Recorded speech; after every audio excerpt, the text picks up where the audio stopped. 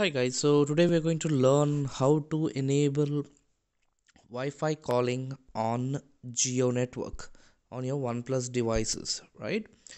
Now, if you see, I have this Wi-Fi calling option and if you would go to this setting particularly which is uh, Wi-Fi network, SIM and network and select the SIM, you will not see Wi-Fi calling or calling preferences now i will show you how to enable that. Please watch this video very very carefully.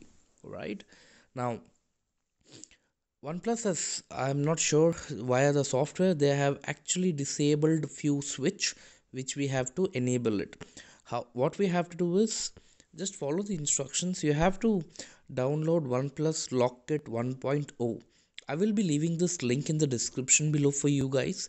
Once you download it you have to install now remember while you install you will get an uh, error saying that it is an unknown source. You can just give permissions for it to install it right? And remember this is not an app okay? It's an extension to the factory mode on oneplus. So all you have to do is after you install it you have to open your dialer. In your dialer you have to type star hash 800 hash. You'll get a small warning dialog. Just enter it go to OnePlus Logkit here.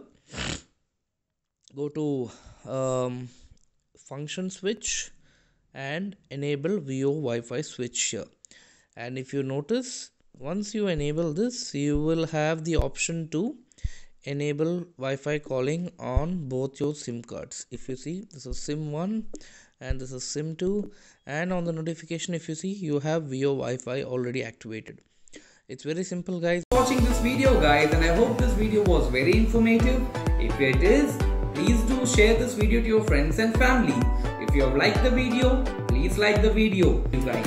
And I'm going to leave my Facebook, Twitter and all the social accounts where I'm linked to in to say the description below.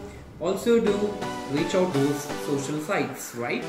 Till then, happy skill tuning.